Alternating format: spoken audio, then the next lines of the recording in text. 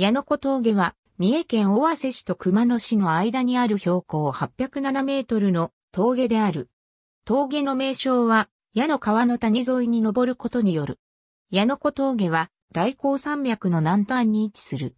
この付近は、紀伊山地が急斜面をなして、熊野灘に沈降する地形となっており、それゆえに、現在の大鷲市と熊野市の間を結ぶ陸路は、危険な海岸沿いのルートを行くか、江戸時代に開かれた尾鷲湾に注ぐ矢の川に沿って、源頭を登り、広報山の南にある、この峠を越えるルートを行く方法しかなく、熊野街道で最大の難所とされた。江戸時代の矢野子峠は、高峰山山頂の南部を通っていた。また、江戸道の途半は、伝柄越えと呼ばれ、途中には、伝柄滝などがある。平安時代より存在した熊野古道の伊勢路には、その難所として古くから知られた八木山越えがあったが、それに対して矢野古峠のかつての記録としては、享保11年に江戸幕府の薬草調査役人が超えたほか、明治3年に上陸したキリスト教徒が、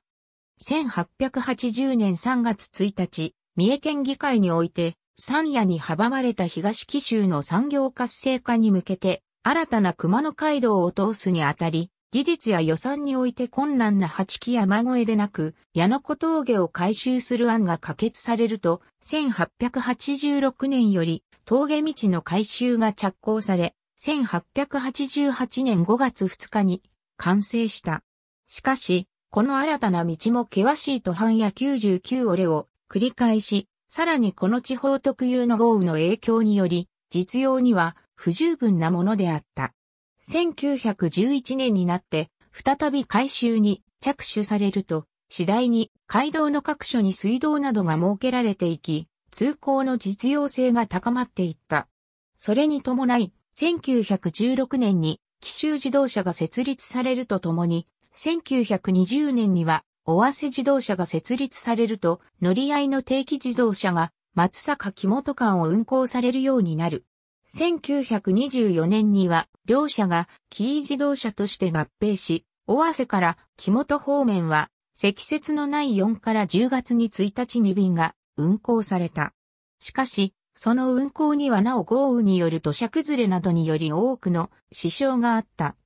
作動、編集1927年1月より、尾鷲からの運行において、最も障害があった大橋小坪の間をロープウェイに乗り換え連絡するための敷設工事が着工され、当時7万円を要して、同年5月、日本初の旅客用ロープウェイ安全策道が完成した。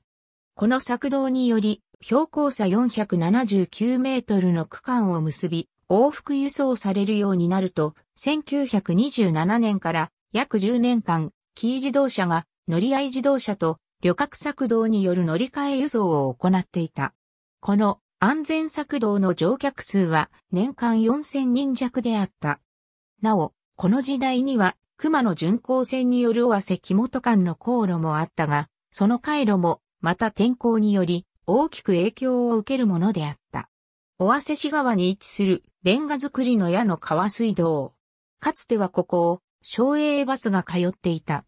1934年12月19日、規制東線の美濃世紀尾鷲駅間が開通し、同年、峠道も本格的な改修に着手されると、1936年、かつての峠道から南谷を回るルートを通る自動車道が開通した。この1936年から鉄道省運営の省営バスが走り、規制本線が開通するまで1日4便、片道2時間45分かけて運行していた。このバスからの眺めは、熊野灘が一望できる絶景であった。自家用車が稀であった。この時代、矢野小峠の運行は、ほとんどがバス及び木材を運搬するトラックであったとされる。1944年になり、キー自動車が三重交通に統合されると、矢野小峠の明治道は、昭和初期に設営された旅客策道と共に廃止された。1959年7月15日の規制本線全通の前日まで、矢野小峠には休憩所を兼ねた茶屋が存在したが、国鉄バスは、尾鷲駅熊野市駅間の開通により廃止となった。峠にある石踏みには、冬の日のぬくもり優し茶屋の後の句とともに、かつて茶屋を営んだ女性の名が添えられている。その後、1965年より約30億円を要して、1968年には峠の南東の矢の川トンネルとともに、弓山トンネル及び新たに、大瀬市と熊野市の境を貫通する大股トンネルが通されたほか、トラス構造の先人橋などの橋梁が架けられ、峠のおよそ400メートル下方に新たな道路が開通したことにより、国道42号線から外された。現在、矢野古峠昭和道は、熊野市側で道路が決壊している区間があり、周辺区間も廃道化が進んで峠を越すことはできず、尾鷲市側も悪路で通行が危険であることから通行止めとなっている。ありがとうございます。